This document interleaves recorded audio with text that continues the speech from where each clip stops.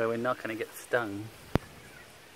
Boss, please, we can, we can open it up. We can open it up, we run, and then when all the bees are in, we can close it up and all the bees are in. Look. I want to see. What happens if we open it up and as soon as we open it up, the bees are like, hey, what are you doing opening my front door? And they sting us. We will be run as fast as we can behind the blue car.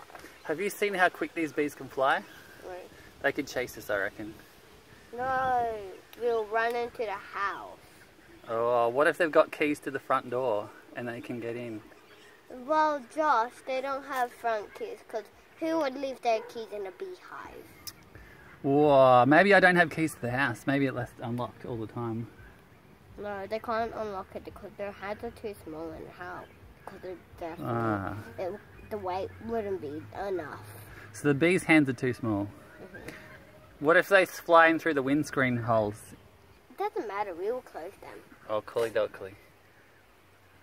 Well, I'm not keen to open the queen out. But if you are a game, you can definitely have a go. But there's a lot of bees there. Come on, Josh.